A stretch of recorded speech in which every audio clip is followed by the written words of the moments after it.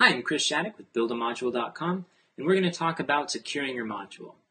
So to start out with, I want to say that when it comes to securing your module, you don't have to be an expert. So there are a few core things that you can do to keep your module secure, and by by learning the techniques and the functions and the API calls uh, at the outset before you get too involved in your module, that will pay off down the road.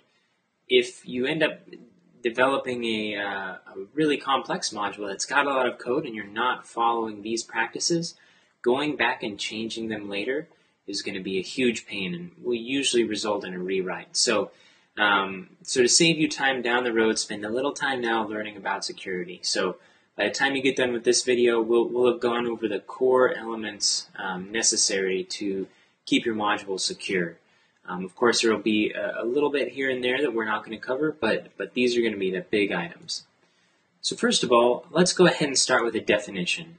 Uh, what, how do we know when our module is secure? So I'm going to take a definition from a book called Cracking Drupal by Greg Knaddison. Uh, it's an excellent book. Uh, I'll talk a little bit more about it later. But what he says is that a site is secure if private data is kept private. So uh, other people can't access data that, that they're not supposed to. The site cannot be forced offline or degraded uh, or into a degraded mode by a remote visitor. So um, that's something like a denial of service attack. So uh, when we hear about big big uh, company websites being taken down, that's what's uh, that's what's happening there.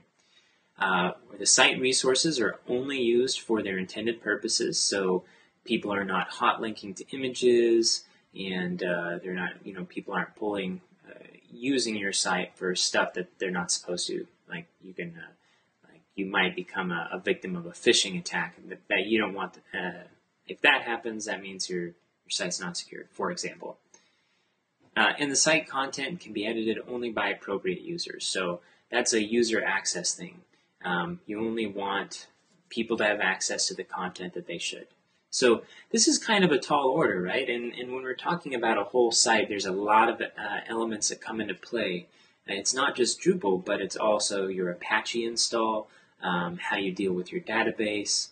Thank you for watching this preview from BuildAModule.com. On our website, we offer a number of free videos, as well as several others that are available for a reasonable price. Come check us out.